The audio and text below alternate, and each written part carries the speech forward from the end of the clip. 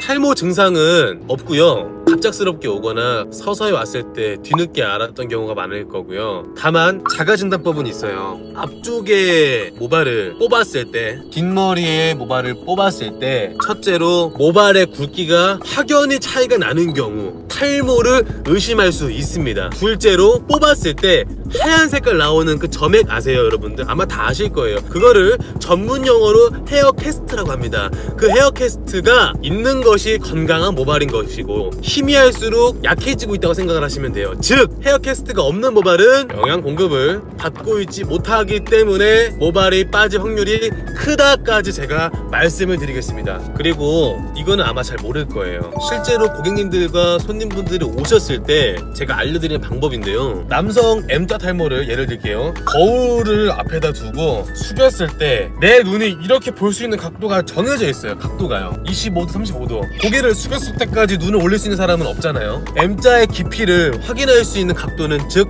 정해져 있다라는 소리예요. 그러면은 이렇게 봐도 이 깊이가 체감을 못 보거든요. 그럴 때는 핸드폰에 있는 카메라를 킨 다음에 어플 말고요. 기본 카메라 키신 다음에 카메라를 위로 들고서 한쪽 손을 쫙 올린 다음에 착각 하시면은 내 깊이가 얼마나 심한지 체감할 수 있어요. 보통 그렇게 하시면 놀라시는 경우가 되게 많아요. 생각보다 엄청 깊거든요. 이 세 가지 방법을 이용하시면은 여러분들 탈모를 확인할 수 있습니다. 이건 유, 유용한 정보 같아요. 내가 말했지만.